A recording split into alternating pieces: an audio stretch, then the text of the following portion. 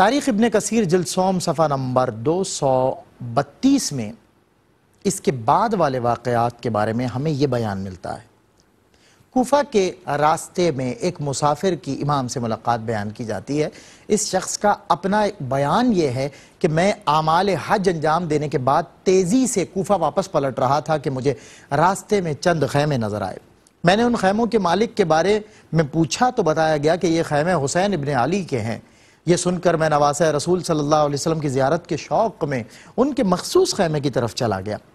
आप अपने सरापे में मुझे एक ऐसे शख्स नज़र आए जिसने अभी अपने बुढ़ापे की इब्तदा की हो।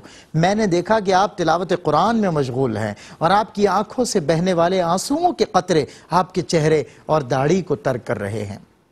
मैंने अर्ज़ किया कि मेरे माँ बाप आप पर फिदा हों ए नवासा रसूल सल्लल्लाहु अलैहि वसल्लम। क्या वजह है? आप इस बे आबो गया बयाबा में तशरीफ़ लाए हैं। इमाम ने जवाब दिया कि एक तरफ़ मुझे अपने नाना के दीन की फ़िक्र है और दूसरी तरफ़ ये अहल कोफ़ा के खतूत हैं जो उन्होंने मुझे इरसाल किए हैं।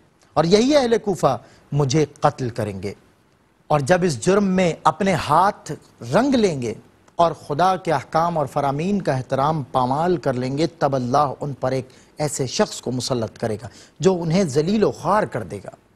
इमाम की इस गुफ्तु में इंतहाई काबिल तवज्जो बात अहल कोफा के बारे में आपकी पेश गोई है।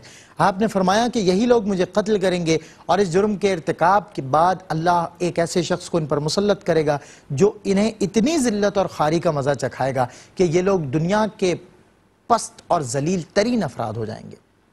इमाम ने मुतद मौाक़े पर अपनी गुफ्तु में पेश गोई की है।